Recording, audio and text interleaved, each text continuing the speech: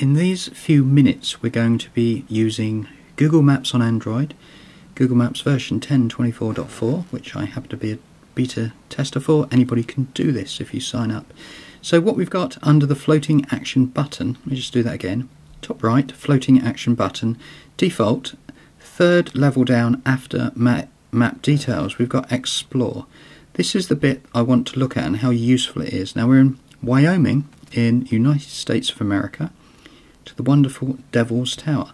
So it's best if I go over initially to satellite and wonder what street view could near be nearby the Devil's Tower. So what I can actually do is if I look down to the tower itself, and this is how people may normally do it, and let's say I would tap and hold, what actually happens is pretty much nothing because bottom left here I have tapped a forest area or a rural area and Street View is not opened up. So how can we actually change that for our benefit? What we can do is to go in and click Explore Street View, which is ever so easy. Instantly what that does is it transforms the Devil Tower National Monument, the first national monument in the USA of course, into an area which shows us instantly which parts are active in Street View.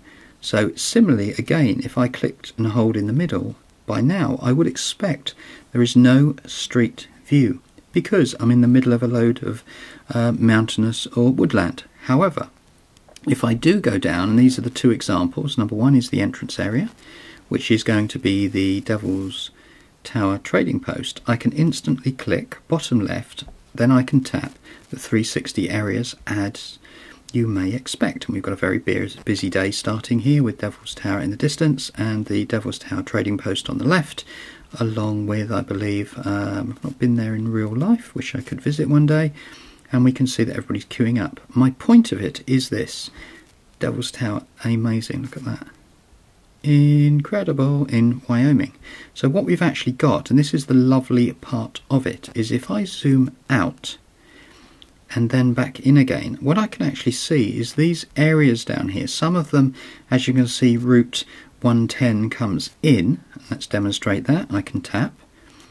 And now confidently I will know that 360 imagery is opening up. So here is a, a car park to use the UK English version of it as opposed to a parking lot. Then what is lovely is as I'm sure this is a very busy tourist attraction, what we can actually do is confidently go in to know that the Google Street View backpack, probably in this example, has gone along and recorded wonderful Street View on the trail leading up. And there's the beautiful Wyoming scenery.